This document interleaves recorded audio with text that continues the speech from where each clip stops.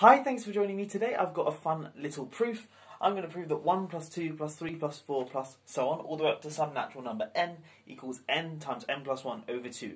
Now, before you click off the video thinking, oh, I've seen this result before, uh, today's proof I'm going to be showing you is perhaps one you haven't seen before, and in fact I've done another sort of non-standard proof of this result uh, using combinatorics and using quite a nice diagram, uh, so I'll leave a link for that in the description below.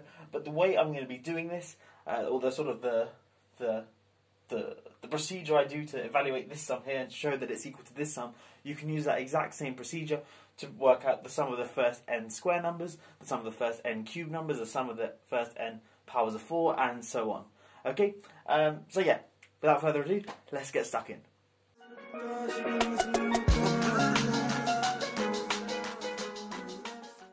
Okay, so what we're going to do is consider one power more. So we've got, currently got first power, so the sum of the first uh, sorry, the sum of the first n first powers, so 1 to the 1 plus 2 to the 1 plus 3 to the 1 and so on. So we're going to consider the sum, uh, or sort of, we're going to consider firstly second powers, so powers of 2, but in particular differences of consecutive square numbers.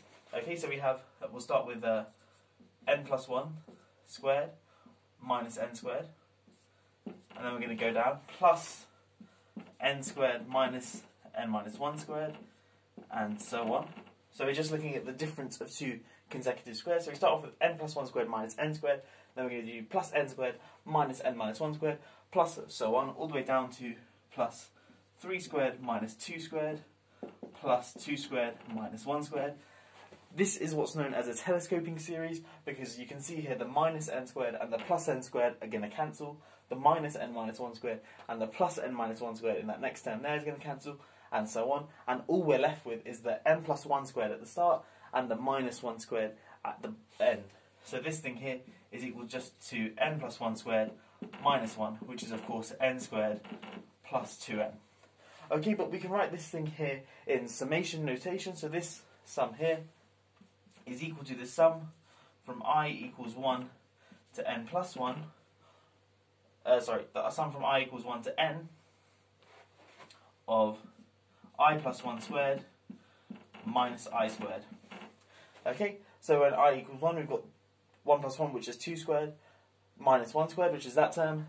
Then when i is 2, we get 3 squared minus 2 squared, which is that term, and so on, all the way up to the last term, which is n plus 1 squared minus n squared. So this expression here is the exact same as this thing here, but we've shown that this expression here by telescoping is this thing here. But of course, we can complete the square uh, sorry, uh, we can uh, look at the difference of two squares on this thing here. So this thing is precisely the sum from i equals 1 to n of i plus 1 minus, i plus 1 squared minus i squared, which is just going to be 2i plus 1. Okay, so it's i plus 1 plus i times i plus 1 minus i, but i plus 1 minus i is just 1. So this thing here is just i plus 1 plus i, which is 2i plus 1. Okay, let's bring this up to the top of the board and continue. Okay, so let's carry on from here. Uh, we've got n squared plus 2n equals this thing here, but of course we can sort of uh, expand this using linearity. This is just 2 times the sum from i equals 1 to n of i plus the sum from i equals 1 to n of just i, uh, of just 1, sorry. Okay, but of course this thing here is just n, we're just adding up 1 n times, so I can rub this sum out and just replace it with n.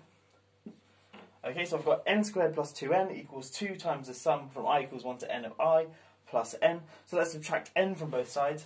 So we get n squared plus n, which is precisely n times n plus 1, is equal to 2 times the sum from i equals 1 to n of i. And of course, just divide by 2 gives us that the sum from i equals 1 to n of i is n times n plus 1 over 2. And of course, this thing here is just 1 plus 2 plus so on all the way up to n, and we get the result that we expect to get. This guy here equals n times n plus 1 over 2, just as we expect. Um, so that's the proof complete. Um, so let's draw a little box there. Of course, as a result, the standard way to prove it is perhaps use what Gauss did and sort of reverse the terms. Um, but the thing is, that doesn't work when you're trying to do squares or cubes or fourth powers or anything like that. Uh, the other way is to do it by induction, but of course that means you need to know what you're working towards. Uh, so that isn't ideal. But the great thing about this procedure is you can use it to then work out what uh, squares are. So at the start we had, uh, uh, the key thing was looking at this thing here, the sum from i equals 1 to n of i plus 1 squared minus i squared. But if we want to say work out the sum from i equals 1 to n of i squared, you just change this to one more power than what you want, so cubed. Okay, so then when you do exactly the same procedure, you'll then be able to work out what the sum of the first n squares are. And if you wanted to do the sum of the first n cubes, say, then you change this number to one more, so 4, like so, and you get the picture.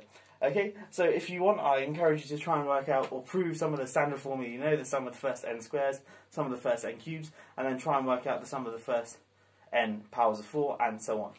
Anyway, that's today's video done. I hope you have enjoyed it, learned something new. If you're new here, please do consider subscribing and checking out some of my other fun maths videos as well. Um, but that's all for today. I'll catch you in the next one. Have a great day. Ooh, have a great day.